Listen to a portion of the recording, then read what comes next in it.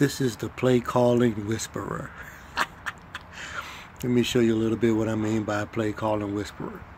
I'd like to welcome everybody here to the stadium. It's a balmy night in Miami, Florida, where we're going to get a chance to see a good contest between the Miami Dolphins and the Packers of Green Bay. Well, I heard somebody else say that before, but I took that little part. But anyway, the uh, Miami Dolphins are in their all-white uniforms, white helmets and everything, and the Green Bay Packers are sporting their green jerseys with their yellow pants and their yellow helmets. Going from left to right on my screen, there's going to be a kickoff. Miami first to receive.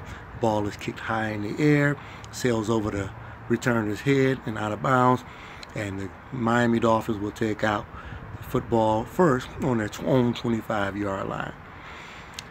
Miami Dolphins come out to huddle. Quarterback licks his fingers. I formation. Defense in a 4-3 look. Two deep safety. Quarterback turn hands. Fullback dive up the middle. Two, three yards before he's tackled by a host of Green Bay Packers in the middle of the offensive line. Second and seven. They, uh, the Miami Dolphins break the huddle.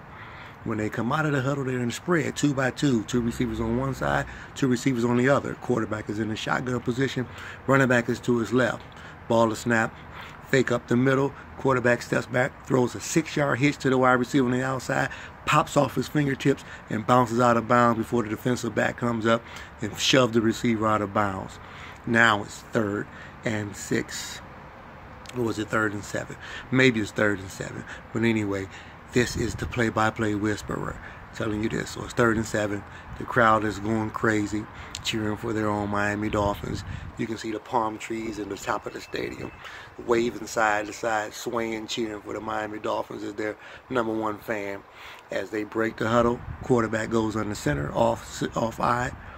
Quarterback turns, fakes the handoff up the middle, rolls back to throw, looks to the down the middle of the field, throws to the tight end, a seam route, pass tips off his fingertips and almost picked off by the free safety who bangs the ground with both hands, upset because he should have got that.